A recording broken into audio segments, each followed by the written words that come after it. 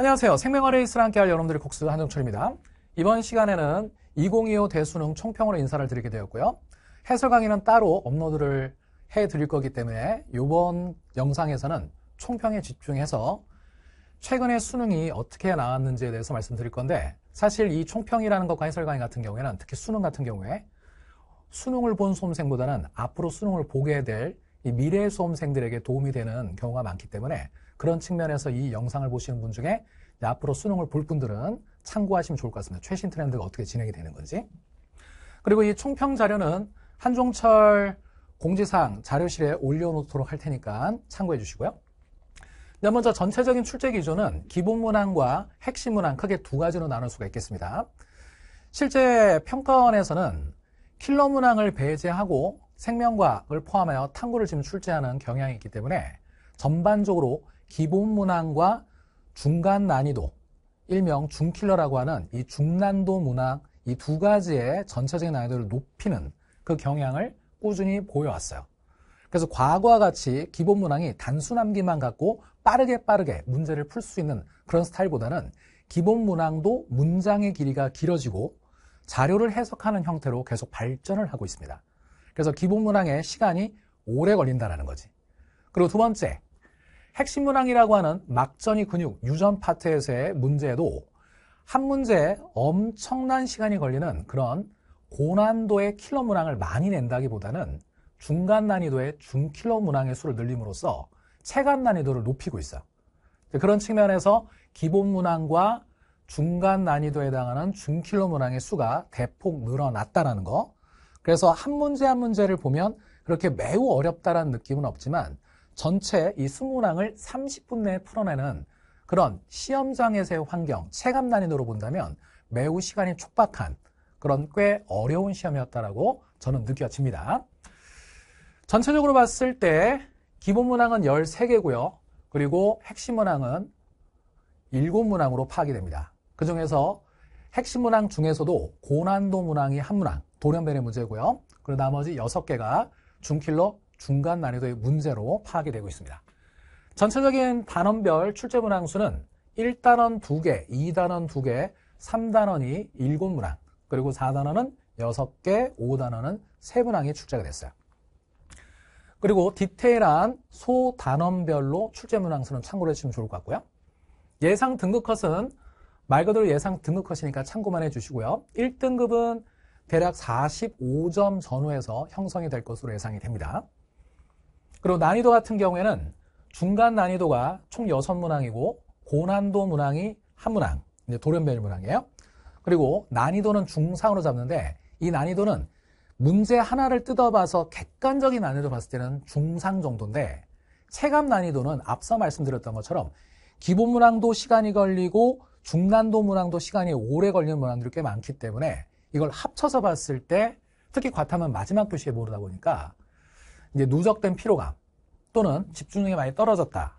그리고 전체적인 기본 문항, 중난도 문항의 난이도의 상향 조정 이런 측면에서 체감 난이도는 상으로 느껴졌을 것 같아요. 이제 첫 번째 고난도 문항부터 간략하게 출제 경향에 대해서 소개를 해드리도록 하겠습니다. 한 가족에 대해서 표 정보를 줬고요. 여기는 두 가지가 포인트예요. 첫 번째 구성원들을 다 기호로 처리함으로써 부모 자식 간의 유전자의 흐름을 이용해 부모와 자식을 구분할 수 있는 것인지 그리고 두 번째는 클라인펠터라고 하는 돌연 변이를 찾아내는 데 있어서 X염색체 유전의 클라인펠터의 형성 원리를 이해하고 있는지 그런 측면에서 풀이하는 과정 그리고 어느 정도는 추론해야 되기 때문에 가정하는 단계가 있어서 시간이 오래 걸렸던 문제입니다. 이제 저의 컨텐츠에서는 철철 실무에서 유사 사례를 찾아 보아할 수 있었겠고요. 그리고 중난도 문항에서는 막전이 문제가 대표적인 3단원 문제 중에 근육과 더불어 학생들이 부담스러운 소재였는데 실제 최근에는 막전의 숫자를 기호로 바꾸는 경향이었어서 그런데 실제 수능은 숫자로 둬서 기존에 나왔던 대부분의 막전의 문제와 체감적으로 크게 차이가 없었던 점. 단지 신경을 3개 주고 시냅스를 3개나 제시함으로써 시냅스의 개수 측면에서는 다소 부담이 갔었던 거. 하지만 자극중점을 찾는 데 있어서 또는 시냅스를 찾는 데 있어서 꽤 많은 막전의 숫자들이 제시돼 있어서 그렇게 어려운 문제는 아니었습니다. 그리고 이제 출제 사례는 저희 철철 실무의 문제에서 이제 시냅스 문제를 많이 다뤘기 때문에 뭐 저희 이제 컨텐츠를 사용했던 분들은 크게 어려움 없이 풀어냈을 거고 최근 경향에 시냅스는 많이 나왔기 때문에 여러분들이 대비하는 데 있어서 큰 무리는 없었고 미래 수험생들도 아 시냅스 문제가 요즘에는 흔하게 나오는구나 라는 걸 참고로 알아두시면 좋을 것 같아요. 이제 근육 문제입니다. 근육 문제 같은 경우에는 최근에 나왔던 근육의 분수 조건이 올해 수능에 또 출제가 되었는데 시점이 세 개여서 처음에는 시각적으로 좀 다소 부담스러울 수 있었겠지만 정보가 꽤 깔끔하게 제시가 돼서 분수 조건을 빗값으로 계산하는 훈련을 했던 친구들이라면 매우 빠르게 문제를 풀어낼 수 있었을 것 같습니다.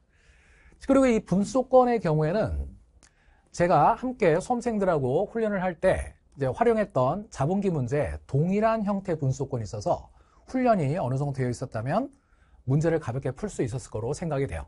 어려운 문제는 아니었습니다. 최종 점검에서도 유서 사례가 있었고요. 세포 분열 문제는 가장 최신 트렌드가 출제가 됐는데 유무표와 DNA 상대량 더한 값 이 두 개 자료를 섞어서 가장 최신 경향의 문제가 나왔고 이 부분 같은 경우에도 최종 점검에서 자주 다뤘던 문제 형태이기 때문에 그렇게 많이 당황을 하지는 않았을 것 같아요. 단지 이 문제에서 제일 중요한 포인트는 뭐였냐면 한 개체의 G1기 세포 3개를 갖고 출제를 했을 때 그것에 대한 의도를 파악하는 것. 하나의 감수 분열 과정에서의 반대량 같은 라인 풀이로 하나의 감수 분열 과정에서의 발견되는 세포를 구분할 수 있는가. 그 포인트를 빨리 캐치하는 게 되게 중요했던 문제였습니다. 네, 바로 들어가서 세포모식도 문제인데 세포모식도는 사실 과거의 대부분의 문제는 단편적으로 세포모식도만 갖고 문제를 출제했다면 이번 수능 같은 경우에는 세포모식도의 DNA 상대량 더한 값을 결합함으로써 체감 나지를 높였다. 시간이 좀 걸렸다라는 게 특징 중에 하나예요. 그리고 또 다른 특징은 바로 뭐냐? 성념 색채 XY 두 개를 기호로 모두 표시함으로써 다소 새로운 느낌을 줘서 당황할 수 있게끔 했었던 그런 느낌도 있습니다. 물론 이제 이 문제가 매우 어려운 문제는 아니지만 앞으로 세포모식도의 훈련의 방향을 잡는 데 도움이 될 수 있을 것 같습니다. 단순히 세포 모식도만 해서는 안 되고 DNA 상대량에 대한 정보를 결합해서 훈련해야 된다는 거. 이제 로직엔즈에서 이제 유사 사례를 공부해 본 적이 있었고요. 이제 가계도 같은 경우에는 최근에 평가한 가계도의 가장 전형적인 특징 중에 하나예요. 구성원을 기호로 처리하여 제시된 추가 조건으로 표현형이나 유전자형이나 성별을 구분해내는 물론 이 문제 같은 경우는 성별은 알려주고 출제했지만 그런 경향들을 계속해서 일관성 있게 출제를 하고 있습니다. 최종 점검에서 이제 유사 사례를 공부한 적이 있었고요. 이렇게 해서 전체적인 핵심 문항에 대한 전반적인 건 말씀을 드렸고 이번 기본 문항에서 우리가 좀 유심히 봐야 될 소재가 있습니다. 바로 오랜만에 수능에 평가원에 나왔던 바로 HIV라고 하는 소재예요. 사실 이 HIV 질병을 하면 이제 에이즈라고 하는 이 바이러스성 질병 같은 경우에는 개념을 공부할 때는 들어봅니다. 그런데 실제 시험에는 거의 나오질 않았어요. 그래서 보통 이게 사설에 나오게 되면 욕을 먹습니다. 이렇게 지엽적인 걸 내냐. 근데 이 사설의 역할상 나올 수 있는 그런 지엽적인 것들도 종종 내곤 하거든요. 근데 평가원의 측면에서 본다면 HIV의 출제 사례는 최근에 나온 적이 없었기 때문에 여러분들이 앞으로 기본 문항에서 기존에 기출해서 나왔던 것만 학습해서는 안 되고 나오지 않았던 그러한 소재들도 꼼꼼히 해야 한다라는 것을 좀 기억해 주셨으면 좋겠어요. 그래서 이제 앞으로 한종철의 컨텐츠를 활용하실 때도 이러한 기본 문항에서의 지엽적인 소재들이 과한 지엽은 오히려 독이 될 수 있지만 뭐 예를 들어서 우리가 공부하는 수능의 범주 안에서 출제하는 기본 문항의 지엽 사례는 공부해 둘 필요가 있다는 거 다시 한번 강조해 말씀드립니다. 어렵진 않지만 공부를 하고 나서 꽤 오랜 시간 동안 까먹은 상태에서 갑자기 수능에 이걸 만나면 당황할 수가 있어요. 암기적 요소가 어쨌든 활용이 되기 때문에 까먹어버리면 이게 치명적일 수가 있거든. 그런 측면에서 앞으로 기본 문항의 방향을 평가원에서 제시해 준 건 아닐까 그런 생각을 잠깐 해보았습니다. 실제 이제 저의 컨텐츠 출제 사례는 RGB라는 기본 문항 모의고사에서 출제해서 그래프가 좀 유사하게 나와서 풀어본 친구들은 조금이라도 도움은 됐을 것 같습니다. 그리고 이제 방영구에 관련된 거는 이제 계속해서 저도 이제 강조를 해왔었는데 방영구는 꾸준히 난이도가 높아지고 있어요. 과거에는 단순히 더하기 빼기 하는 정도였다면 요즘엔 방영구의 추론형이 출제가 되고 있고 다소 시간이 걸리는 그런 계산 문제도 출제가 되고 있기 때문에 미래 수험생들 같은 경우에는 5단원 생태계 쪽에서 계산 파트에 해당하는 방영구 이 부분을 꾸준히 계산 훈련을 해줘야 된다. 그런 측면을 강조하고 싶습니다. 그래서 출제 사례 다양한 문제들이 저의 컨텐츠에 있었는데 그 중에서도 뭐 앞으로 내년도에 RGB 교재에서도 제가 강조를 하겠지만 RGB의 가장 큰 장점 중에 하나는 최신 트렌드에서 아직 기출에서 대비하지 못할 그런 문제들을 많이 넣어놨습니다. 대표적인 게 바로 막전이 근육 그리고 5단원 생태계에서는 방영구 문제예요. 참고하시라고 RGB 사례를 보여드렸고요. 이렇게 해서 이제 총평을 마무리하겠습니다. 이제 제가 이제 총평에서 가장 강조하고 싶은 거 바로 뭐냐면 초반에 말씀드렸던 것처럼 수능 총평은 수능을 본 수험생들이 보는 영상이 아니죠. 미래 수험생들이 보는 영상입니다. 그래서 이 수능 총평을 통해서 미래 수험생분들에게 부탁의 말씀을 드리고 싶은 것은 가장 중요한 점수에 근간 기본 문항 훈련이 상반기 때 반드시 확실하게 기반을 닦아주셔야 돼요. 그렇지 않게 되면 하반기 때 아무리 내가 핵심 문항, 어렵다는 유전 파트 훈련을 해서 잘 맞춘다 하더라도 기본 문항에서 점수가 흔들려 버리면 전체적인 시험에서의 시험 시간의 운영에 치명적인 결과를 가져온다는 게 이번 수능의 교훈이기도 해요. 이번 수능 같은 경우에는 중간중간에 말씀드렸던 것처럼 기본 문항의 풀이 시간이 꽤 길어졌어요. 그리고 중간 난이도의 문항들도 점점 난이도가 높아지고 있습니다.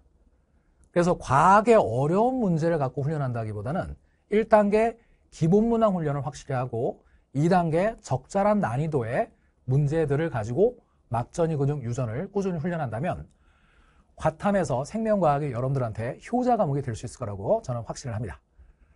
미래 수험생분들 노력, 꾸준함, 긍정적인 태도, 체력 관리 잘 하셔서 꼭 수능에 대박을 이루시길 바랍니다. 수능 대박 화이팅!